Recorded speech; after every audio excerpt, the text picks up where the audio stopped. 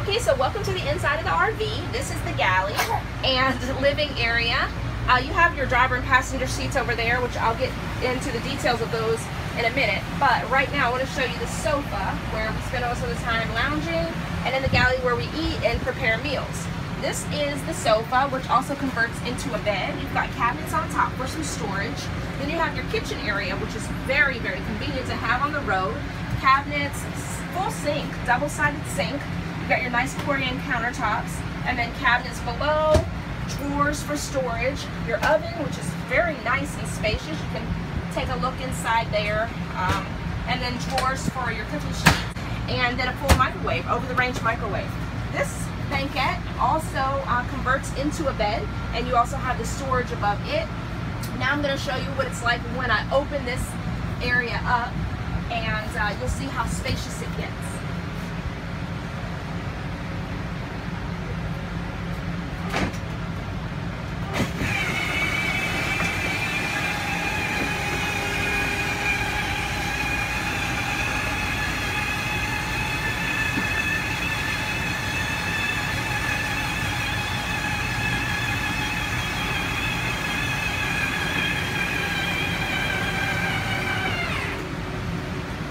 Okay, now as you can see, this area opens up and it's amazing to see how much space you have because when it's closed and you're driving down the road, it's very tight, very narrow. When you open it up, you have all the space that you need when you settle down for camping. So behind me, you have your flat screen television, which basically operates like any entertainment center in the house.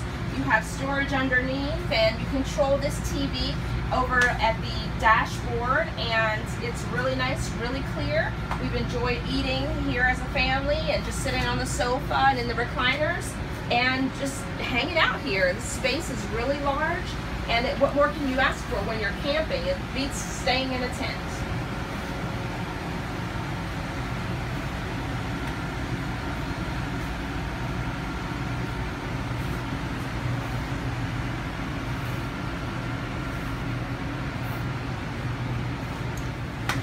Okay, so here you have your driver's seat and your passenger seat.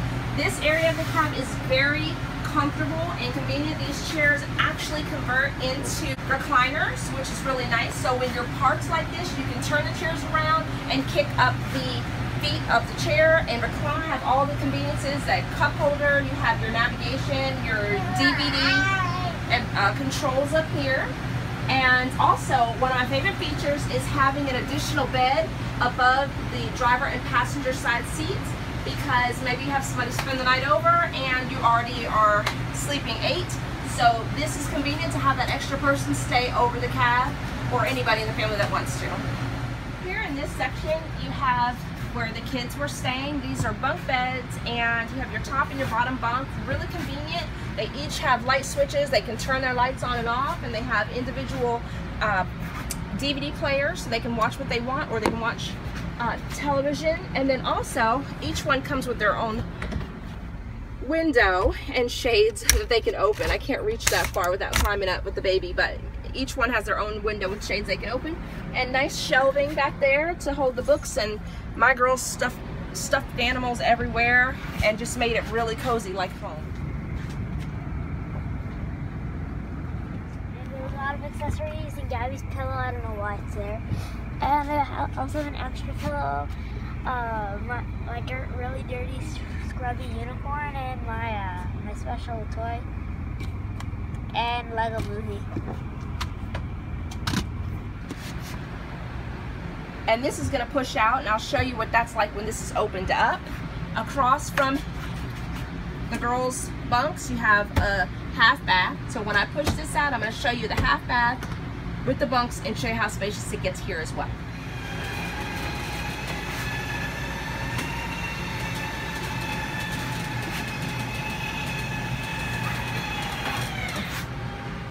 Okay, so now I have all the slides on the RV pulled out. Let me show you how spacious it is with everything pulled out. And this is the maximum amount of space that we have during a, uh, while you're camping.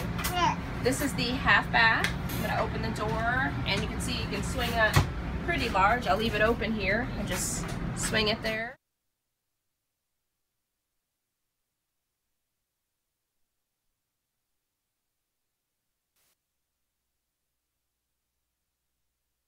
You have a lot of space between the half bath and the bunks. And this door shuts for privacy. The bunks behind closed doors at night or anytime during the day when you want to have the kids nap.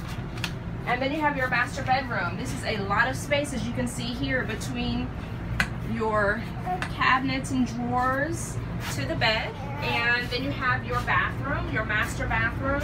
Nice big shower. I was able to take a shower with the baby in there, so it's a lot of space. And then you have a sink, toilet, cabinetry, a lot of storage, a lot of space. And then this bed also um, has storage under it for, for those of you who might need some additional space. Uh, here would be your like wardrobe area where you can put pillows and things like that. And you have more drawer space. So as you can see, there's so much space to use while you travel. It's amazing what an RV can hold. Um, everything that you need for your family, I think.